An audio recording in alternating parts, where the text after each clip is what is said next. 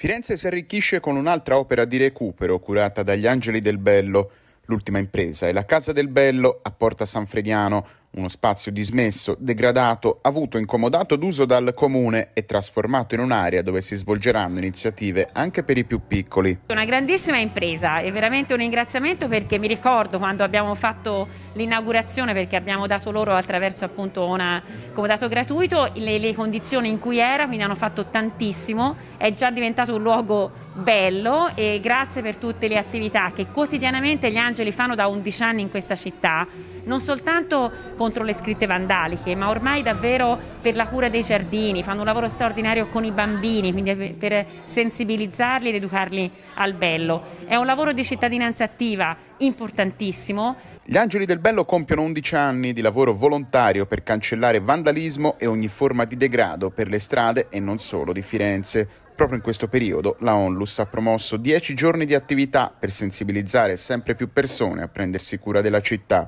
L'anno scorso avevamo annunciato che avremmo iniziato a sistemare la nostra Casa del Bello, penso che l'avete potuta riprendere, quindi grazie al contributo di tante persone che ci hanno aiutato, dei volontari perché molta, molto olio di gomito oltre le attività che sono state fatte e quindi ora abbiamo gradualmente, che ancora non è finita, ma insomma a breve noi avremo questo posto che sarà per noi importante non, non perché dobbiamo dargli una sede, non è nel nostro spirito, di avere un contenitore dove noi potremo fare tante iniziative anche di formazione per i bambini.